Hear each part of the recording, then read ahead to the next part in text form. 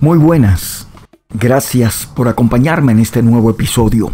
Como ya saben, estaré fuera de las redes por prescripción médica. Sin embargo, trataré de estar con ustedes a través del postcat. Me es más fácil, pero así mantenemos una comunicación más fluida a través del audio. A partir de hoy, todo lo que van a recibir es audio por esta plataforma.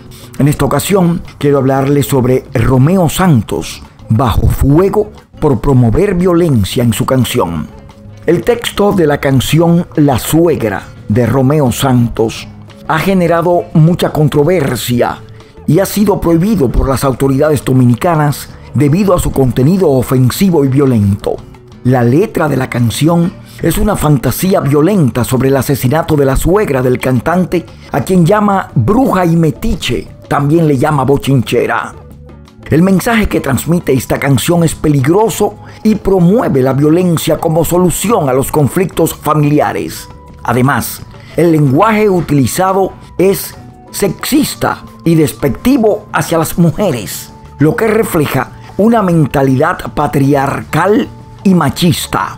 La letra de la canción en cuestión presenta una actitud misógina y violenta hacia la figura de la suegra la descripción de la suegra como metiche y bochinchera, y la intención de matarla con un cafecito envenenado y empujarla por una barranca, son expresiones que normalizan y fomentan la violencia contra las mujeres, en este caso, contra una figura familiar.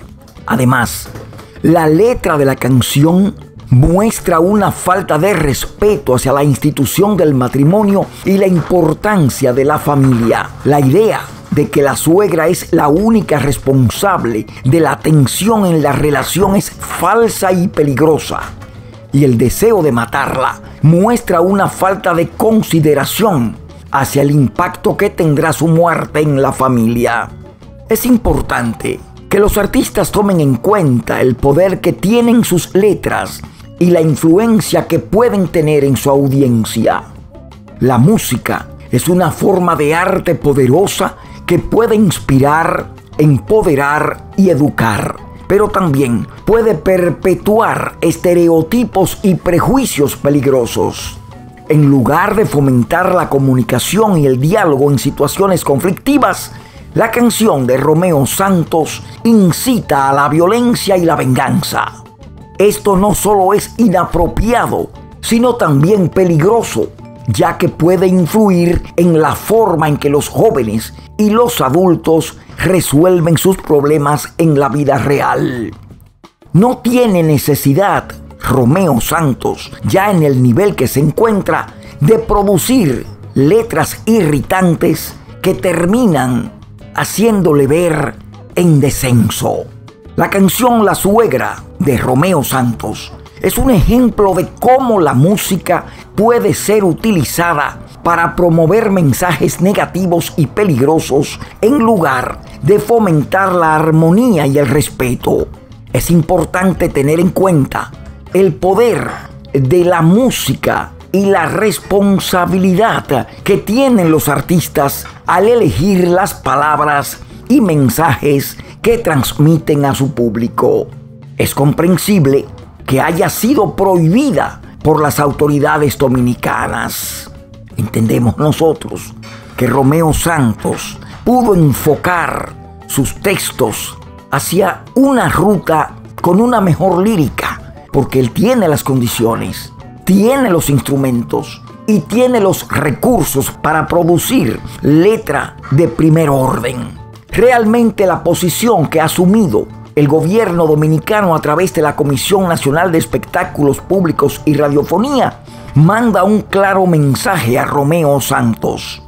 Y a través de Romeo Santos envía un claro mensaje a todos aquellos que han distorsionado lo que es la letra para producir mojiganguerías, basura que en nada favorece el acervo cultural.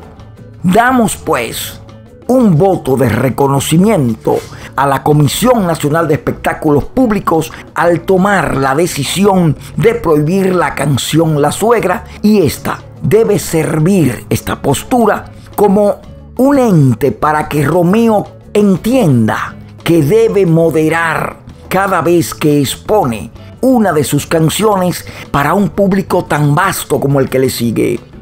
Es Romeo el más indicado en este momento para ayudar a construir una sociedad nueva, porque la que tenemos se fue por las cloacas. Romeo medita, recapacita y entiende que tú eres un líder dentro de la juventud y una gran parte de la sociedad. Valió la pena este jalón de moños.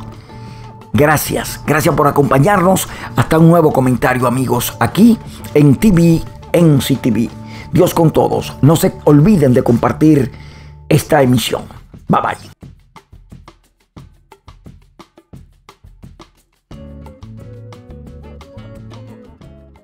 El comentario de hoy con Bolívar Balcácer. Cada día llegamos a esta plataforma para brindar información rápida, veraz y completa sobre toda la actualidad internacional, guerras y conflictos, política, deportes, espectáculos y avances en los campos de la salud, la ciencia y la tecnología emitimos permanentemente desde la emblemática ciudad de Nueva York. Nuestro personal está donde quiera que estés. Amparados en la ética periodística, producimos periodismo de alto nivel. De ahí que lo que decimos hoy es historia mañana.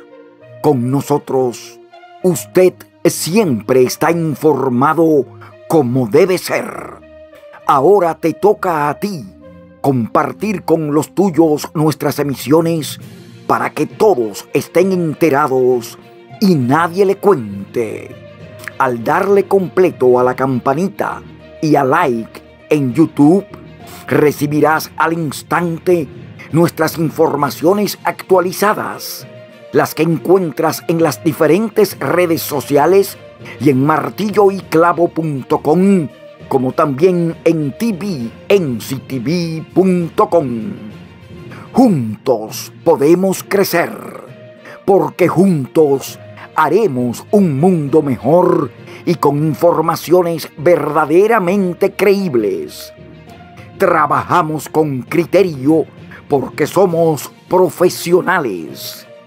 Esperamos que te suscribas a nuestro canal ahora. Es tu turno y lo sabes. Riega la voz. Es que somos una sola familia. Aquí la noticia no se oculta porque nuestro gran logro es la credibilidad y nosotros marcamos la diferencia.